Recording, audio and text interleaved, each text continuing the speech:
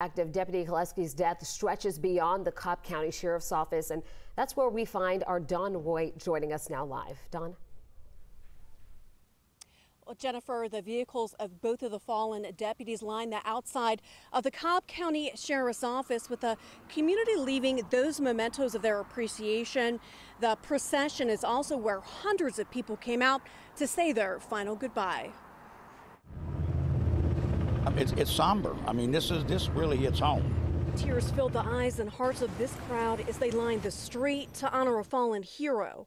We've unfortunately been to too many of these. Um, when an officer dies in the line of duty, well, it's it's just a sad thing. Daryl Streak Streakforks knows all too well the dangers of working in law enforcement. He retired from Cobb County after serving 34 years.